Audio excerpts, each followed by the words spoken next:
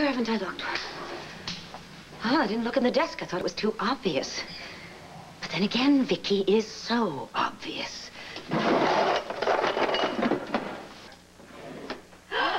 Ow!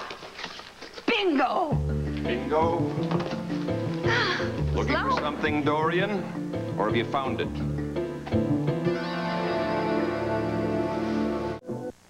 Want an answer. What are you doing in Vicky's house with no one around? Stop acting as if you own the place.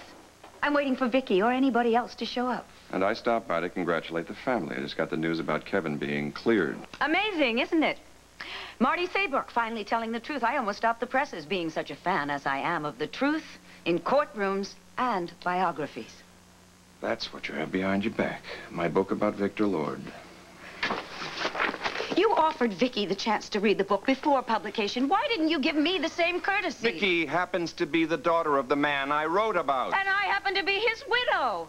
You know, I could have made this project very difficult for you, but I didn't. I gave you unlimited interviews. I were gave no you Victor. I gave you access to Victor's papers. You Victor's volunteered the papers with no pre-publication Because I made certain assumptions, Sloan.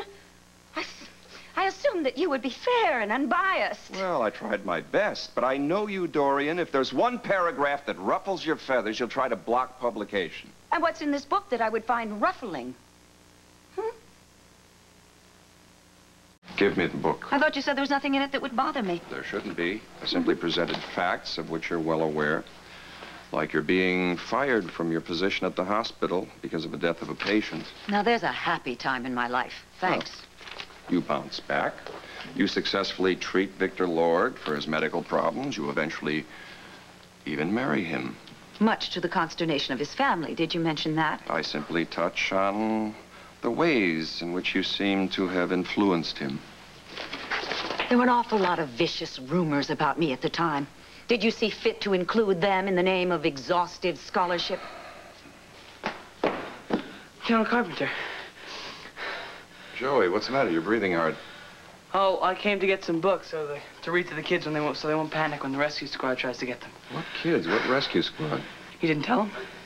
I didn't want him to worry. Tell me what? What's going on? CJ and his friend Al Holden, uh, Max's son.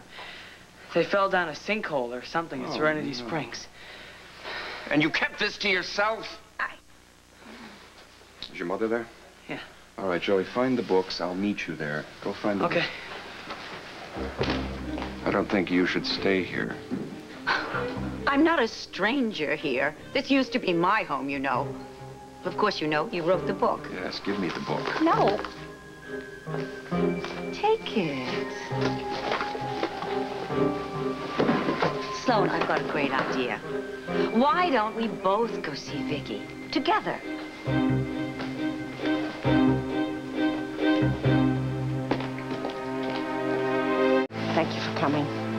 The latest word on the... Al's arm uh, was stuck. Oh. Vicky, hey, Howard, what's up? I don't want to be in anyone's way. Is there anything I can do to help? Oh, actually, that rescue people could use every hand they can get out All there. I'll see you later. Oh, tell Tina I'll be there in a minute. What? I, I need to talk to you for a second. Sure, Vicky, what's actually, wrong? so do I. Or believe me, I wouldn't be bothering you at a time like this. Well, what is it then? I simply have to know how I'm portrayed in that book that Sloan has written about Victor. Please.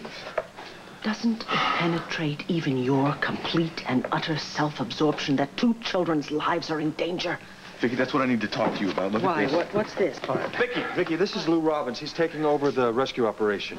We're gonna do whatever we have to to get those boys out. Great. Okay, Vicky, take a look at this. What is it? This is a map of the old sewer system that's under this part of Llanview. Right, now this particular tunnel runs right under Llanfair, and it dead ends here, a couple of yards away from where the boys are right now. Now, we think we can get to them if we can access this tunnel, and we can at this point right here. Now, this is the part that's under Llanfair.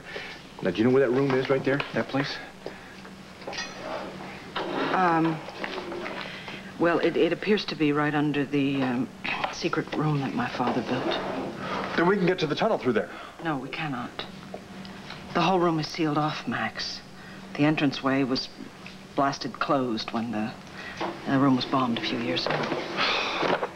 Can we blast it open again?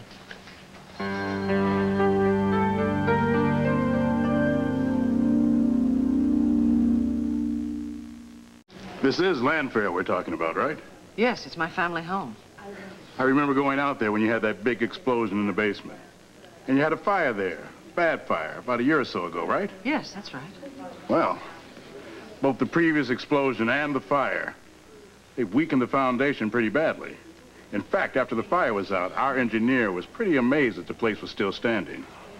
So now you want to set off another explosion and blast your way into the underground room. We have to. It's the only, only way we can get to our kids. Well, the odds are pretty good. If you set off another blast, that foundation's gonna collapse. And the whole place is gonna come down like a house of cards. Yes, but if blasting is the only way we can get to the children, then we have to do it. I mean, the house doesn't matter. But if Llanfair collapses, then, then it could block the tunnel forever. Not if we move in fast enough right after the blast. Llanfair used to be my home once. I, I don't want to lose it again. It's the lady's decision. Vicky, really, are you sure about this? Dorian. Yes, of course I am absolutely sure. Llanfair has been my home almost as long as I've been alive. I would not hesitate to give it up forever in a second. If it means that we can save the children.